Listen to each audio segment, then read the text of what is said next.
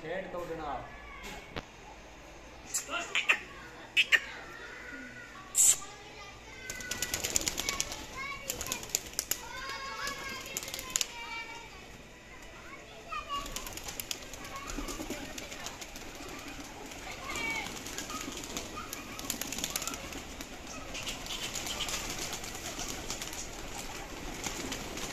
ਇਹ ਜੀ ਚੀਨਾ। 5000 ਰੁਪਏ ਦੀ ਕੀਮਤ ਹੈ ਸਵੇਰੇ ਛੱਡੋ ਤੇ 12 ਤੋਂ ਪਹਿਲੇ ਪਹਿਲੇ ਚ ਬੋਇਤ ਨਾ ਆਵੇ ਪੈਸੇ ਸਾਰੇ ਵਾਪਸ भारत पहले आवे या ना आवे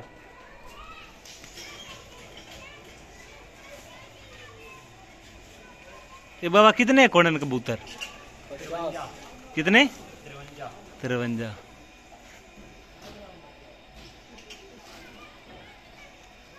ਤੇ ਸਾਰੇ ਕਾਰੀ ਦੇ ਪੱਠੇ ਵੇਚਣੇ ਵਾਲੇ ਜੀ ਕਿਸੇ ਲੈਣੇ ਉਸ ਦੇ ਕਮੈਂਟ ਵਿੱਚ ਭਾਈ ਰਾਬਤਾ ਕਰੇ ਕੀਮਤ ਹੈ ਸਿਰਫ 35000 ਰੁਪਈਆ। ਕਿਤਨਿਆਂ ਦੀ? 35000 ਕਿਤਨੇ ਕਬੂਤਰਾਂ ਦੀ?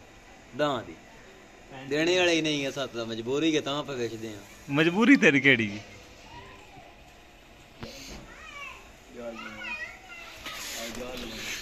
ਯਾਰ ਨਹੀਂ ਜਹਾਜ਼ ਲੈਣਾ